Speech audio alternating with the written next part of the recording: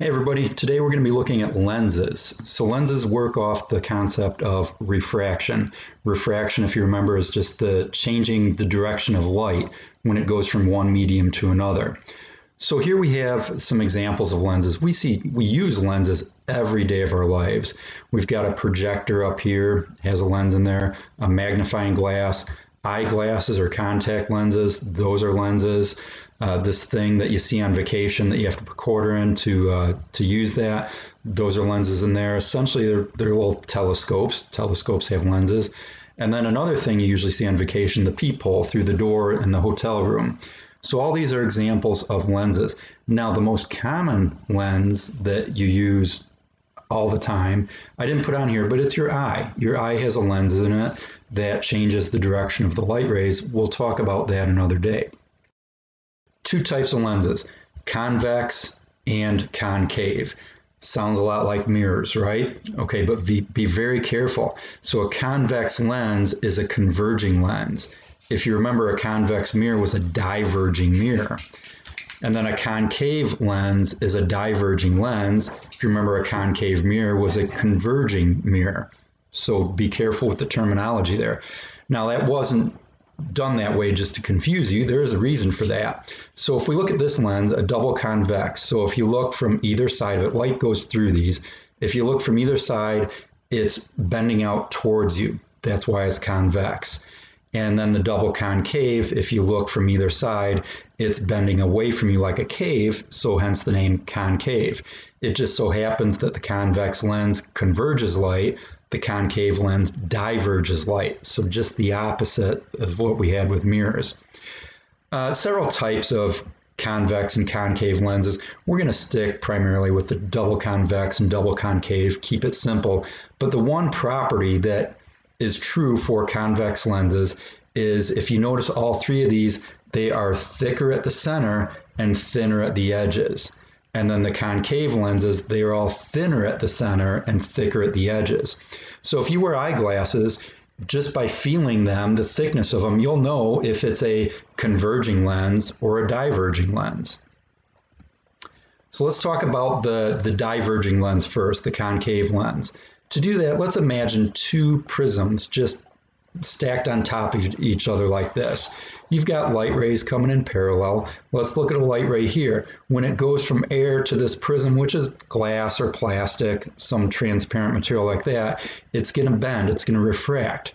It's going to obey Snell's law. So I drew in little normal lines here. I've got a normal line here. It's going from a faster medium to a slower medium, so it's going to bend toward the normal line. And then when it goes from the slower medium to the faster medium, it's going to bend away from that normal line.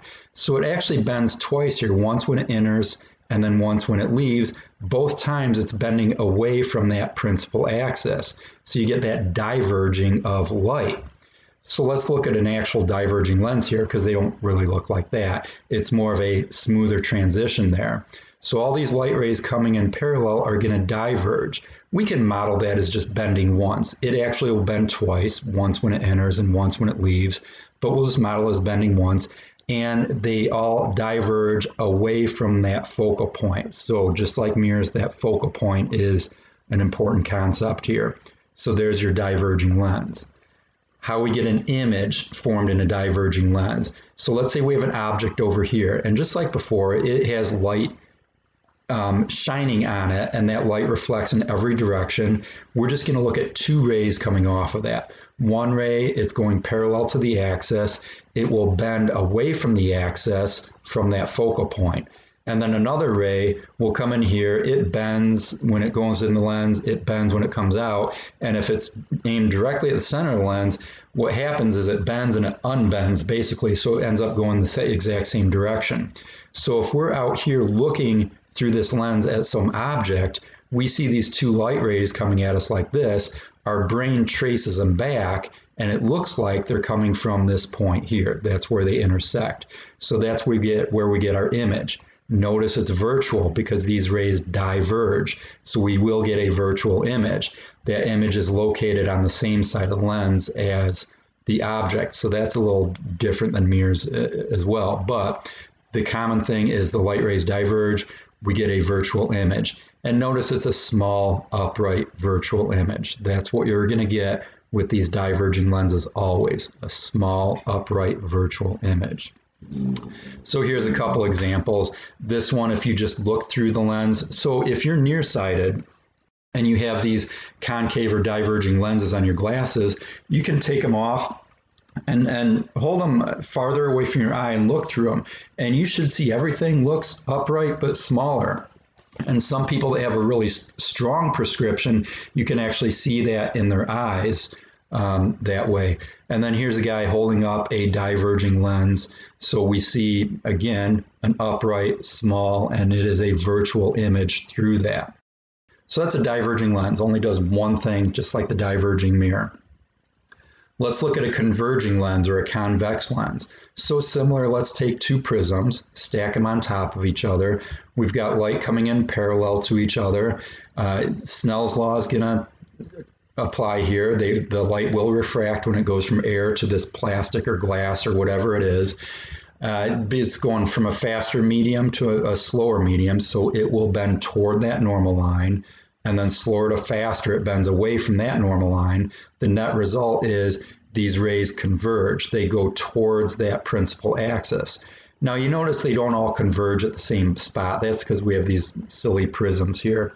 If we drew a normal lens that were curved like that, we would see all these rays coming in parallel will converge at a single point, and that is the focal point. So that is the converging lens there. Now, images formed uh, with the, the converging lenses. So uh, these are both real images. We'll talk about the difference in a minute, but basically we've got, again, light reflecting off the tip of this object in all directions. One light ray is going to go parallel to the axis. It will converge or it will refract through the focal point, just like we saw in the previous slide. And then one will go directly through the center of the lens. And then this third one you know, if we want to draw this, this goes through the focal point and it actually refracts parallel to the axis. So these two rays are kind of doing the opposite thing. So anyway, they do converge to a single point. We get a real image there. It's upside down. Real images are upside down. Now, we, the difference here is we just moved that object a little closer. Now it's between 2F and F. Same thing applies, but we get a real image that's bigger than the object. So that's the difference there. Same thing though, if you're here looking at it, it looks like these rays are coming from that spot. Uh, so that is the real inverted image there. The other thing, we could put a screen right here. If you remember real image, you can uh, project it onto a screen. So if we put a screen right here or a screen right here, we would see a clear image of that. If we put the screen too close, and I'm going to show you a demo in just a minute. If we put the screen too close, you can see it'll those rays will hit the screen before they get a chance to fully converge to a single point, so we won't get a clear image there. Similar, if we put the screen too far away, the rays have already converged. Now they're essentially diverging again, and we won't get a clear image there. So let's take a, a, look at a demo showing this concept. All right, here we go. Okay, I'm going to pause it right there. So you can see on the screen, uh, the image is blurry. We don't have it in focus. Now there's a lot of reflection coming off the magnifying glass there. I'm not going to get in all that. Uh, I'd have to give that some thought where all that's coming from. But anyway, we're focused on the screen. The screen is blurry. So what's happening is the light rays are going through the lens and they're converging but the screen is too close, so when they converge, it's actually beyond the screen. So those light rays are hitting the screen before they converge, so we don't get a clear image there. It's a blurry mess. Okay, so let's keep going. We'll go in and then come back out.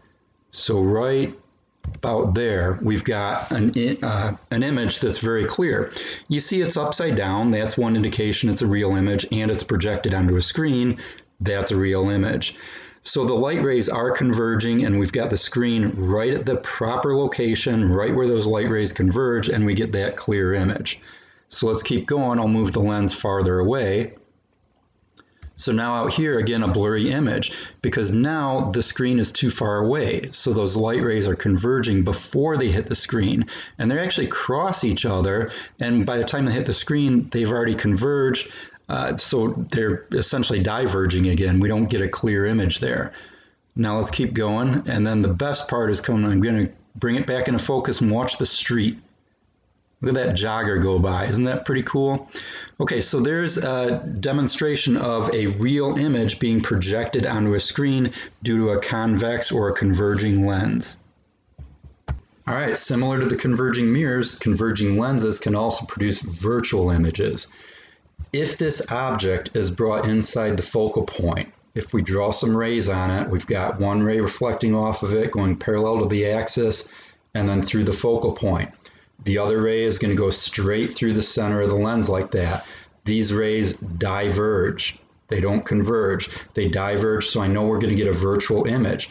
So if we're on this side looking through a lens at this object, we see these rays coming at us like that. Our brain traces them back, and it appears that they're coming from this location back here.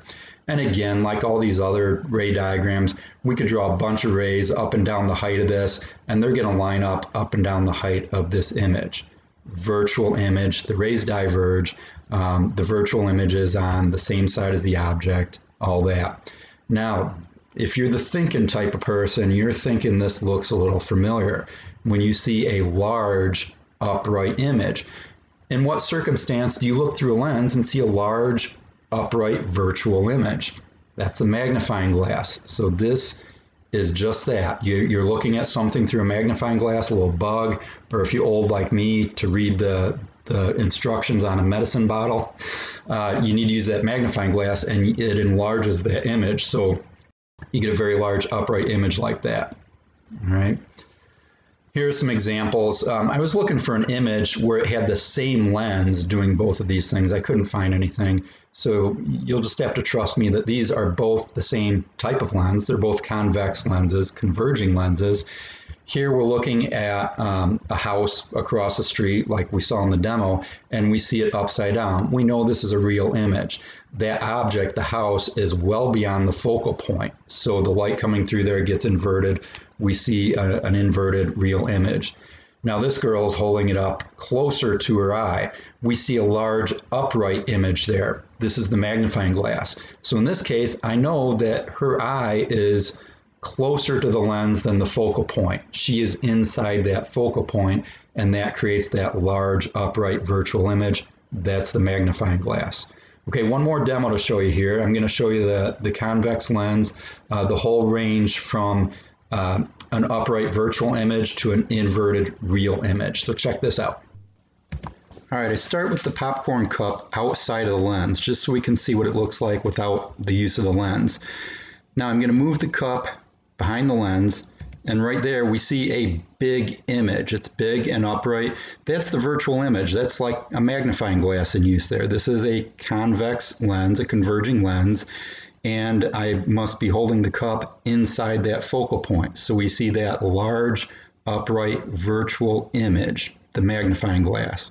Now I'm going to back away from the lens. And as I back away, we're going to see that that image gets bigger and bigger. So I'm still inside the focal point because the image is still upright like that. I know I'm still inside the focal point. It's getting larger. Now, once I hit the focal point, we should see the image change significantly. So right there, right now we see the image is upside down. Now I know it's a real image. So right in that transition, I went past the focal point, the image flipped, now it's a real image, and you can see that image is uh, enlarged. It's still larger than the object is. Now I'm going to keep backing away and let's watch the size of that image. As I get farther away, that image gets smaller and smaller. Now I'm at the back, so we can see a relatively smaller image. If I kept going, if the wall wasn't there, we'd see that image get smaller and smaller and smaller and smaller. Uh, but we did see it flipped upside down, so we know it's a real image. As I got farther away from the focal point, that image got smaller and smaller. And now in the end here, I'm going to move the cup up and down, and we can see when I move it down, the cup goes up, and when I move it up, the cup goes down, and that's just because that lens is inverting that image like that. So there's an example of the whole thing uh, with a convex lens. We started with a virtual image, and then we went past the focal point and saw that turn into a real image. All right, those demos are really cool to see. They give you a good visual of what's going on, but sometimes it's a little hard to understand exactly what's going on. So we're going to do this SimBucket simulation again. Uh, again, we use this for mirrors as well. I'll put this in the description so you can go play around with it if you want. So we're going to be real quick with this. The first, the diverging lens. Diverging lens always does the same thing. Always diverges the light rays. You always get a small virtual upright image. All right, no matter where I move this object, you get that same result there. So again, you're on the right side of the lens looking at an object through the lens. Uh, the the light rays just how they refract like this imagine a big eyeball here you're seeing all three of these rays it appears that they're all coming from this location right there and that's why we say the image appears to be at that location again you always get a small upright virtual image with these diverging mirrors. Uh, I'm sorry, diverging lenses. So let's go to a converging lens. So the converging lens converges the light. Right here, I've got the object outside the center of curvature. We get a real inverted image there. Let me take this out even farther. So this is like when I was showing you the image of my neighbor's house across the street, projecting it onto that sheet of cardboard. Their house was even farther away than this actually where I had that cardboard was right about the focal point. That's where the rays converge, but I can't go off the screen with this one. So if we imagine the sheet of cardboard right here, we were getting that clear upside down image of the house. When I move the lens too close, I can't move the lens in this simulation, but let's imagine we move the screen right here, the sheet of paper right there. So there the rays are hitting the paper before they converge to a single point. So all three of these rays, and there's actually going to be a you know an infinite number of them, but these three rays, they're all coming from that tip of the candle or the very peak of my neighbor's house. But they're hitting the sheet of paper at three different locations or many, many, many different locations. That's why we get that blurry image there. So imagine all the points on the house hitting all these locations on the sheet of paper. You get a blurry mess there. But when we're right where they converge, now all the points of all the light rays coming off the peak of the house are converging to that point um, from the top of the garage door this point, the bottom of the driveway this point, and so on. When we had the screen or the sheet of paper too far away from the lens, the rays have already converged there, so now they're diverging again. So again, you've got uh, a point from the peak of the house at many different locations on that sheet. You get the blurry image there. Now the popcorn demo, I started inside. So this is the magnifying glass. So again, we're on this side looking to the left through the lens at this candle, which is the popcorn cup or whatever you're looking at in the magnifying glass. So the rays diverge. We've got our big eye here, seeing all these rays coming at it. It appears they're coming from this location. We get that large upright virtual image. Now, when I moved away from the lens with the popcorn cup, we saw that image get bigger and bigger and bigger, just like this is doing. You see that this ray here is coming from the focal point. It's hitting the lens higher and higher, and actually it's going above the picture here, but you get the idea. And then right when we're at the focal point, that's when it flips over to the other side, right there. Okay, so now we're getting the real inverted image. We can't see it yet, but there we see it, and we see it's pretty big. It's not until we get to 2f, now the image is the same size the object, we go beyond that, now we get a real image that is smaller than the object. So again, we were on this side looking through the lens at the popcorn cup. Uh, right at the focal point, it flipped from a, an upright virtual image to an inverted real image, larger, and then finally smaller. And then we get basically the same situation as the neighbor's house across the street. So that's kind of how that works. All right, let's wrap this up. So we talked about concave lenses, which are diverging lenses. Be careful with the terminology between lenses and mirrors. That gets a little confusing sometimes. They always diverge light. The image will always be virtual, which means it will be upright and smaller than the object. And the image is always on the same side of the lens as the object those all for a virtual image it's always be on the same side of the lens as the object and it will always be upright for a diverging lens that image is smaller than the object The image cannot be projected onto a screen because it's virtual. These are used in eyeglasses. We'll talk about that another day. Uh, the peepholes, because you get a wider field of view. If you look through a peephole, it's always a, a small upright image there. Um, and flashlights. So some flashlights, that plastic cover at the end of it is actually a diverging lens. And what that does is the, the light comes out of the, the flashlight like this, it hits the diverging lens, it spreads it out. So you get a wider field of light with that. The convex or converging lenses, these are able to converge light or diverge light, depending where the object is located inside the focal point or outside. They can produce real images. Uh, this is when they're converging light, and the image will be inverted, and the image can be larger or smaller than the object. Think about that popcorn cup demo I did. The image will be on the opposite side of the lens as the object when it is real. This can be projected onto a screen as well. We showed that. So converging lenses are used in a lot of different things. Cameras, telescopes, the lens in your eye is a converging lens, eyeglasses, projectors. They can also produce virtual images. We saw that, that's the magnifying glass. Virtual image produced by a converging lens will be upright and larger than the object. It'll be on the same side of the lens as the object. And again, think magnifying glass for that. Flashlights is another case. So I know I said flashlights for the diverging lens, but a flashlight like this, where the end slides in and out like that, and then that changes, you know, whether you have a very narrow beam of light or a wide beam of light. So it does have a converging lens in there. When you pull it out like that, the light source is farther away from the lens, so the light's coming in more parallel, and it will converge to a point, and you get a narrow beam of light like that. Versus if you push it in, now the lens is closer to the light source, so the light rays are coming in at, at a bunch of different angles, and they will converge a little bit, but not as much, so you get that wider field of light as well. So one other thing that I didn't show you a demo of, and I know you're all aware of this, with the converging lens, the convex lens, you can start things on fire with that, a lot like I did with the converging mirror. So the converging mirror, I made sure I had the paper between the sun and the mirror because the light had to reflect off the mirror and then hit the paper. With the lens, it's the opposite. You want the lens between the paper and the sun. It'll converge light to a single point. Same type of deal. You'll get the same effect, that burning paper like that. Okay, that's it. So uh, if you have any questions, shoot me an email.